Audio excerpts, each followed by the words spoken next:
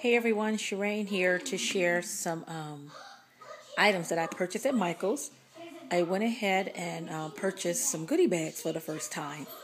I actually went to Michael's yesterday and I put three of the goodie bags in my um, uh, grab bags, not goodie bags, sorry.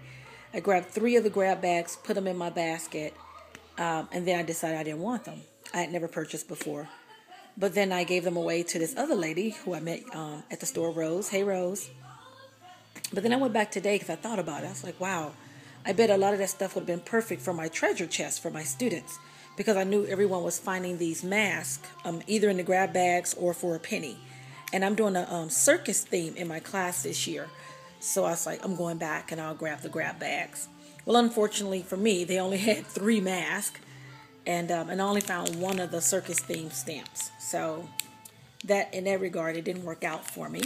But I did find um, quite a few other good items that I can use in my classroom or for crafting. So, um, and I just thought I'd share this because if anyone else is thinking about buying grab bags, just give you a general idea of what's inside of them. So I have these little um, magnetic notepads. I have three of those. Those always come in handy. Like I said, I bought three bags, and the bags were $2 each. So $6 got me all of this stuff here. Now just kind of pan over. So yeah, all of that was for $6. And I'll just go through it pretty quickly without really talking about it, but just sharing so you know what's inside. So again, three of the um, rectangular notepads, and here's a square one.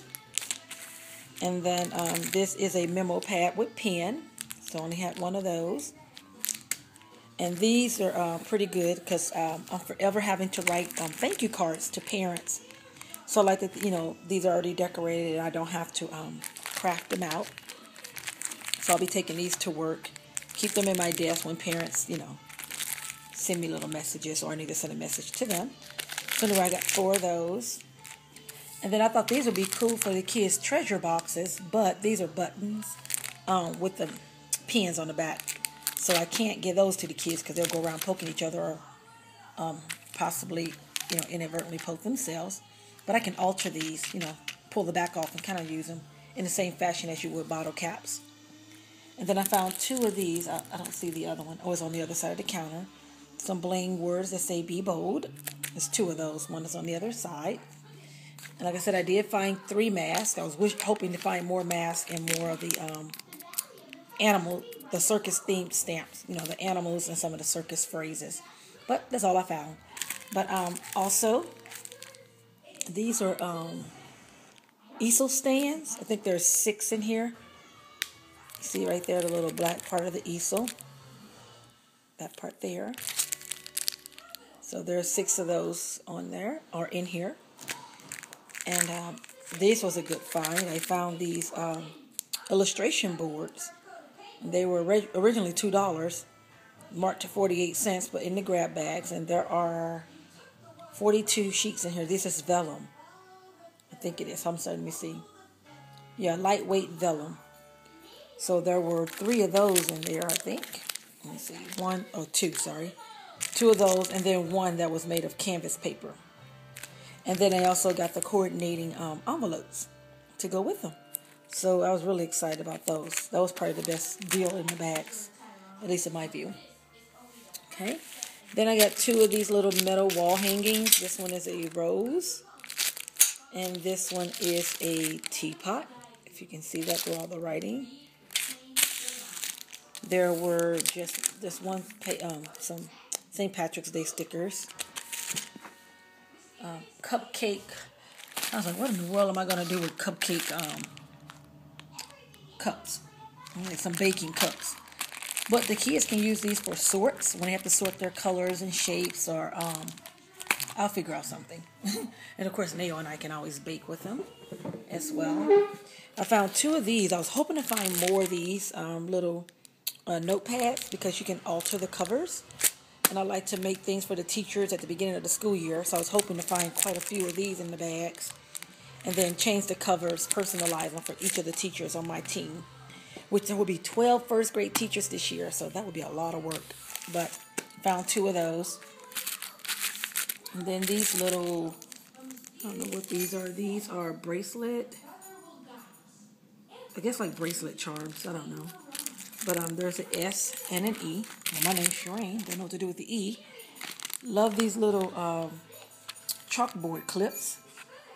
And actually, I got them in um, three colors. So those have been fun to put in the classroom too. Too bad I didn't have yellow because I have four tables for my students. Each table six, seats six students. And I color code everything with these three colors as well as yellow. Primary colors. Love these three by three note cards. So these would be perfect for parents as well. There's 12 in here. Actually, I think it's six cards and six, um, no, 12 cards and 12 envelopes. Oh, that's pretty cool. So it's a butterfly one with a cake and a flower. Oh, and here's yet another one. That one's pretty. They're all cute. So that was there. Um, um, a letter opener graduation party poppers. You okay? I don't know what to do with that.